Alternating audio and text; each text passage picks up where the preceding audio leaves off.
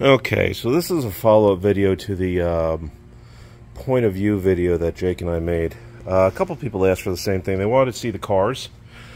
So I'm doing a quick video of the cars. We're going to start with the 23. So again, 1923 T-Bucket based on a Ford Model T. Now, gotta use the term loosely based because there's so little of a real Model T here, but Here's what's original to a Model T. The windshield, both upper and lower. The windshield braces. Uh, the firewall, or part of the firewall. Headlights. Radiator shroud are original 1923 Ford Model T parts.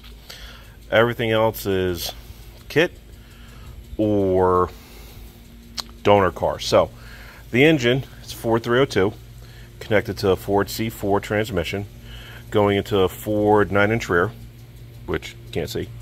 Um, those are out of a 67 to 70 something mm, Falcon, I believe, um, or Mustang. There was a few cars that it would have come in. Um, actually, the steering column I found out came out of a 69 70 Mustang. Um, so it's very possible that all this came out of a Mustang. It's all connected some way or another.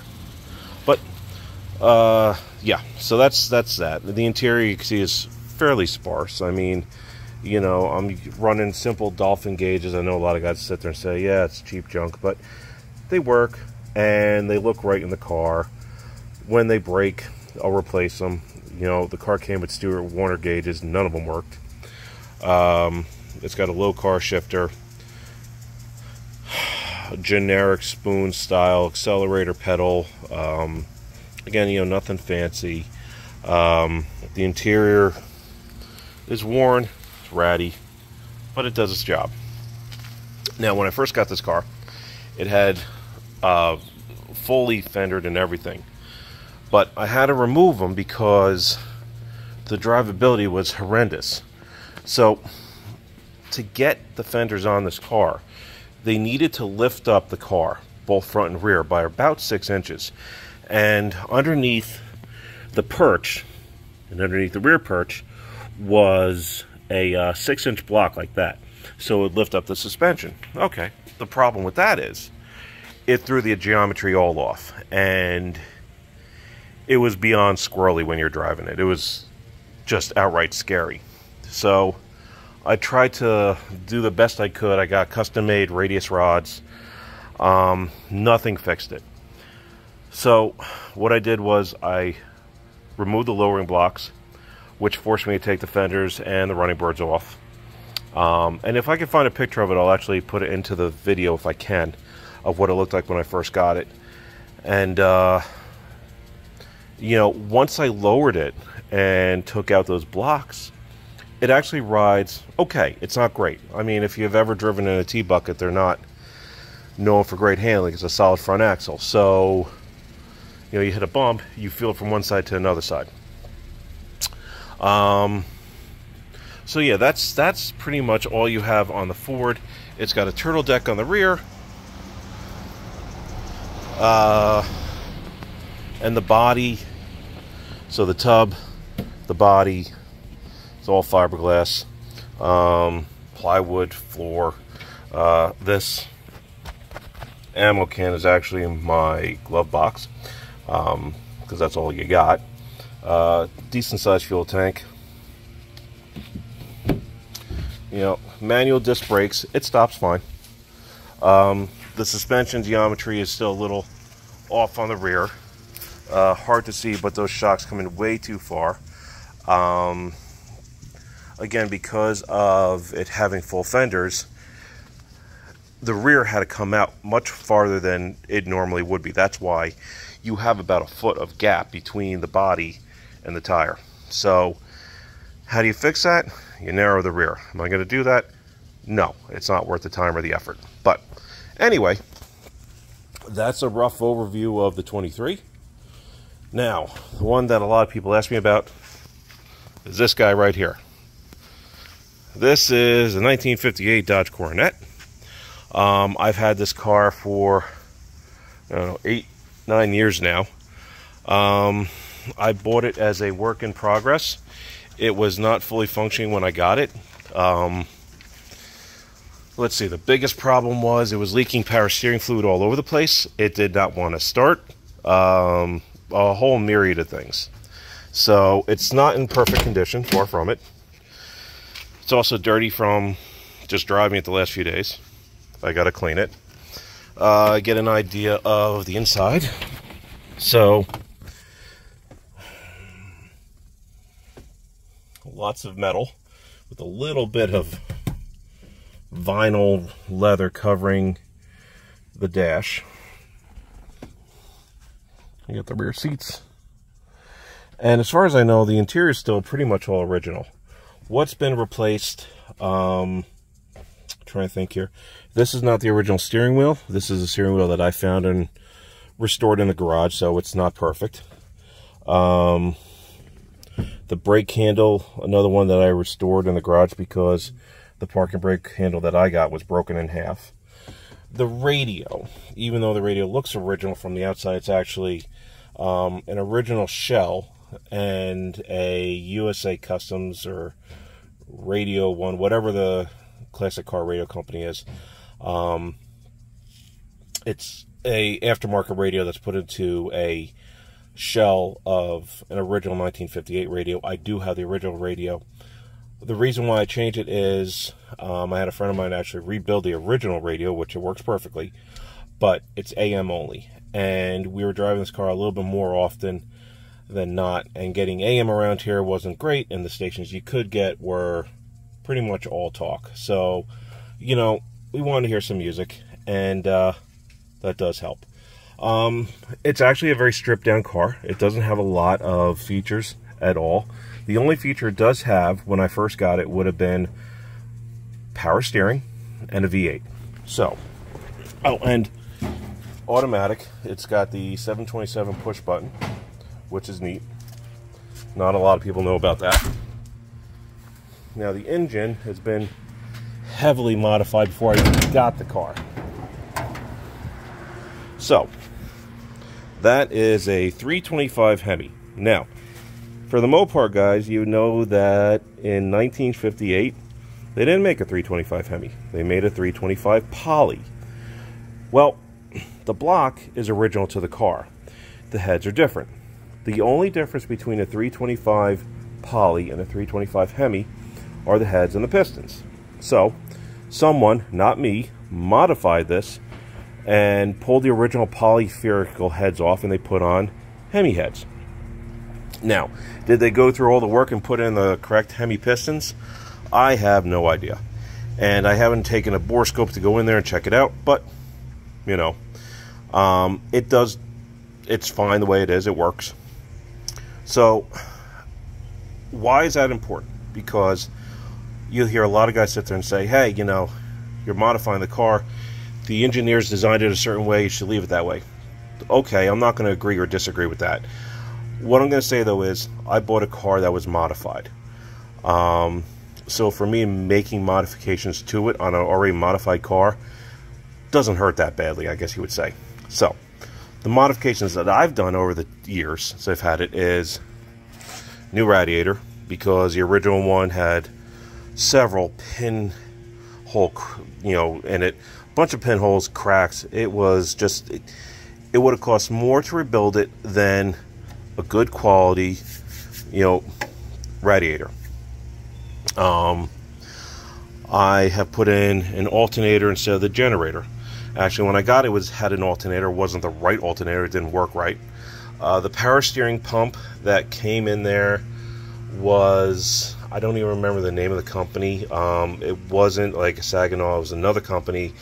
Um, I want to say it began with an L, an L or K or something. Anyway, that was dead. I never even had one to be honest with you. I eventually bought one and then found out that no one restores them.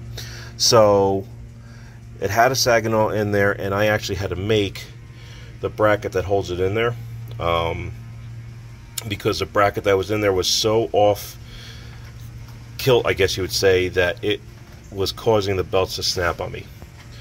Um, now the car came originally with four manual drums. I've upgraded to four power disc. Okay, why? Long story short, the rear drums were warped. The cost of new rear drums was a fortune, about $800, I think, for both of them. Um, and at that point, I could have just replaced them with disc, and you know, getting parts for a disc brake is a lot easier than getting parts for a 1958, you know, 65 year old drum.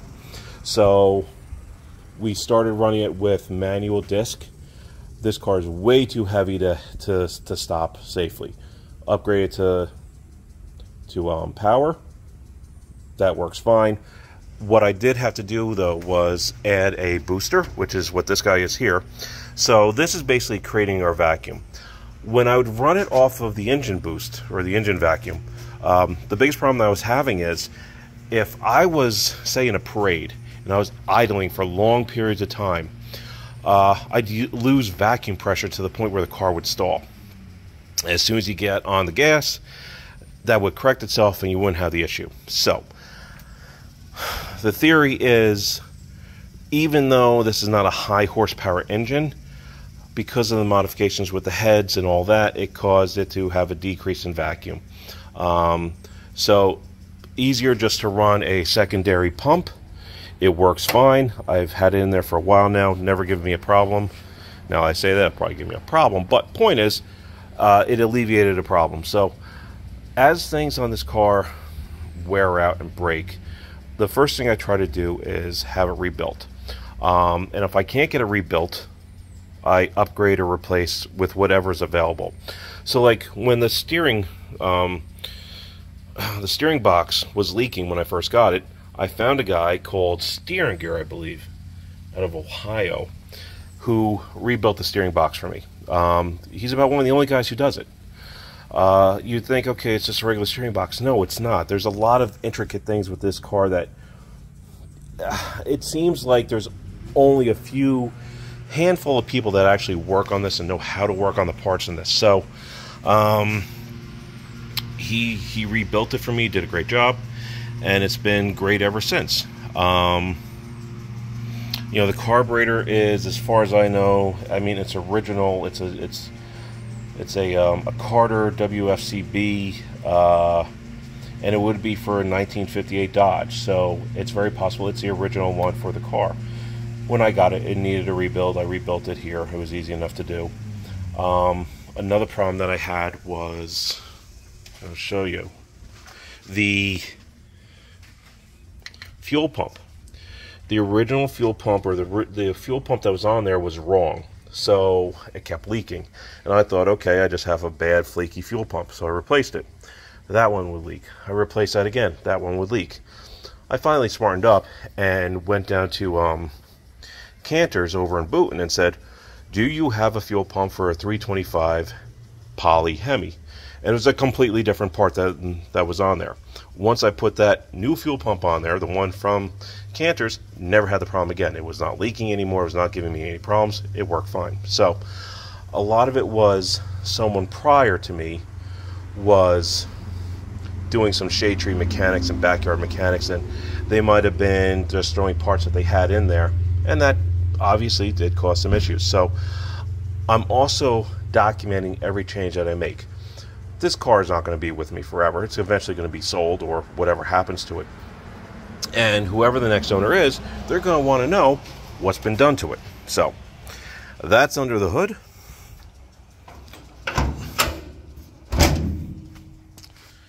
A shot of the front of the car. And it was funny, my youngest son Max asked me last night, I believe you know, why did you buy a 1958 Dodge? Um, oh, another modification I did, I've upgraded the wheels and tires. Again, I did this for a reason.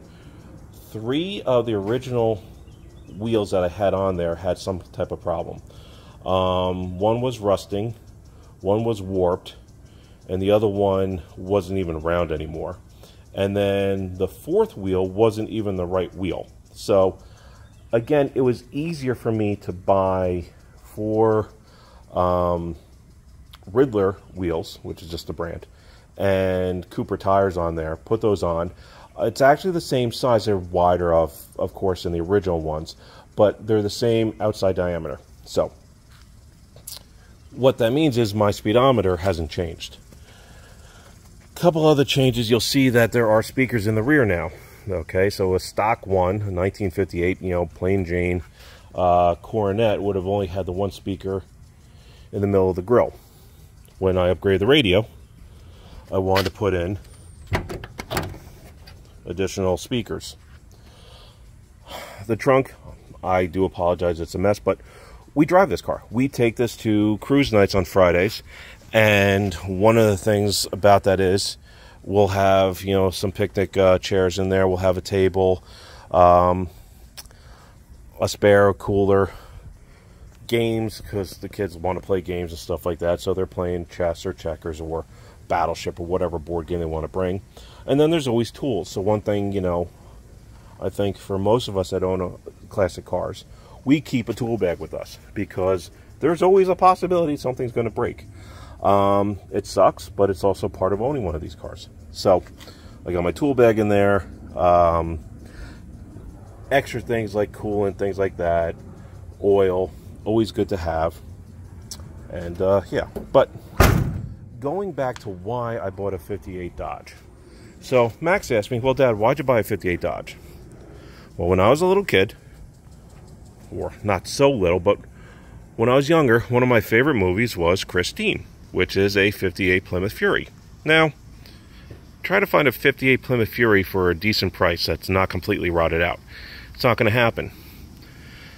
But try to find a 58 Dodge Coronet that's not rotted out for a decent price. That's a lot easier. It's not super easy, but it's not impossible.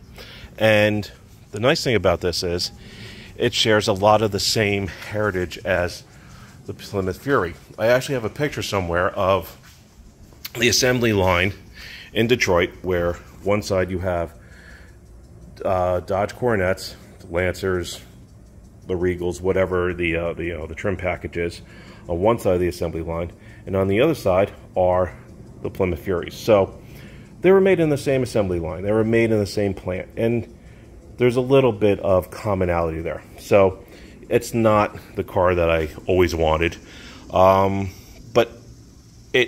fills that that need, or not the need, but the niche that I wanted, which was um, a 50s fin car that's different from everything else. So you know, I go to a car show, I don't see any other Mopars from the 50s. If I do, it's one or two, and it's very rare, and they're usually either a earlier 50s or they just jump to the 60s. So finding a 57, 58, 59 um, Dodge, Mopar, anything is a rarity. And I like that. I like being the only one with that kind of car there. It's different. So, anyway, um, I hope this answers some of your questions. And again, I'll give you another pan over of the 23. You get an idea of what that looks like you get an idea what the 58 looks like. Um, I got a 1980 Corvette, and I'm not trying to show off my cars. This is not that kind of thing. It's like a poor man's Jay Leno, I guess you would say. Uh, none of these cars are concours anything. Um, they have dings, they have dents, they get driven, they have rust. Uh, you know, they're just fun to drive and they don't cost a lot. You know, they, this this is the kind of hobby where you could spend very little and as long as you have some kind of mechanical abilities, you could do a lot of this work your own, um, or you could spend a fortune. So it really comes down to the user and uh, what your limitations are. Anyway, thanks for watching, and uh, see you guys later. Bye.